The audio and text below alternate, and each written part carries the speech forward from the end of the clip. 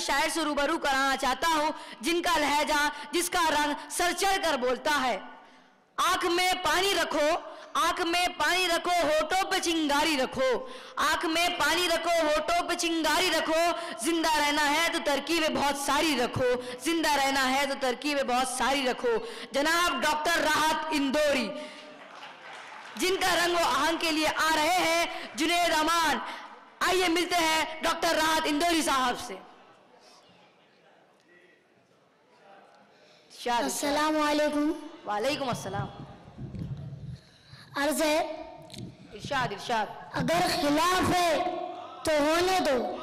वाह वाह वाह वाह क्या बात भाई पहले सुन लीजिए फिर समझ लीजिए फिर वाह वाह कीजिए। बहुत प्रॉब्लम होती है। बहुत अर्ज़ है अगर खिलाफ है होने दो। अगर खिलाफ है होने दो। अगर खिलाफ है होने दो। होने दो होने- जान थोड़ी है। जान थोड़ी है। जान थोड़ी है। अगर खिलाफ है होने दो। होने दो। जान थोड़ी है। थोड़ी है। ये सब धुआँ है। सब ये सब धुआँ है। आसमान थोड़ी है।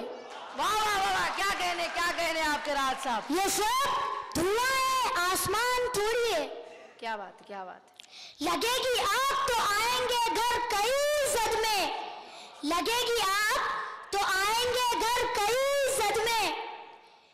यहाँ पे सिर्फ़ हमारा मकान थोड़ी है। क्या बात है क्या बात है माशाल्लाह क्या बात है साहब। मैं जानता हूँ कि दुश्मन कम नहीं लेकिन मैं जानता हूँ कि दुश्मन भी कम नहीं लेकिन हमारी तरह हथेली पे जान थोड़ी है। क्या बात है क्या बात है माशाल्लाह माशाल्लाह क्या बात है हमारे मुँह से जो निकले वही सदाकत है हमारे मुँह से जो निकले वही सदाकत है वही सदाकत है। हमारे मुँह में तुम्हारी जबान थोड़ी है। क्या बात है राहत साहब क्या बात है क्या बात है। आज जो साहिब मसनद है कल नहीं होंगे। आज जो साहिब मसनद है कल नहीं होंगे। किराएदार है जाती मकान थोड़ी है। क्या बात है राहत साहब क्या बात है। बहुत खूब बहुत खूब। सभी का खून शामिल है यहाँ की मिट्टी में। सभी का खून शामिल